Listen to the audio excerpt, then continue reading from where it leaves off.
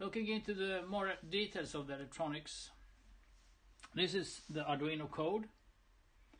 It's actually based on an idea where I am feeding a small, I think we would call it a LRC link. No, not really. It's a RL link. However, from the left, we have a series of pulses, digital pulses, from an um, an IO pin fed into this resistor. And here to the right, we will get an analog value.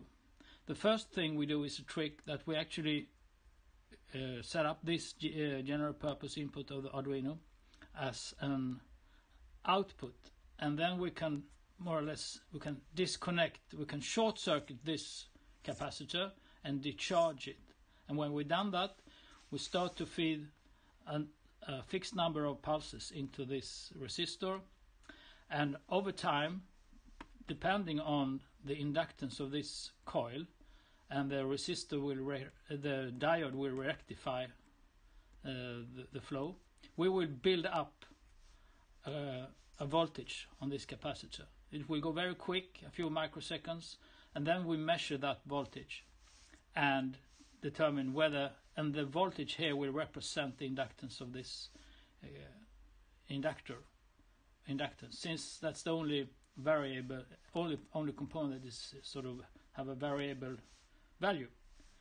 And um, you can see a plot out of that from the Arduino here. And if I introduce the soda can, you will see a, a significant drop in the, the actu actually the, the analog value output from that circuit. And if I do the same for the bottle cap, you will also see a drop in the blue. But that drop is unfortunately not that big.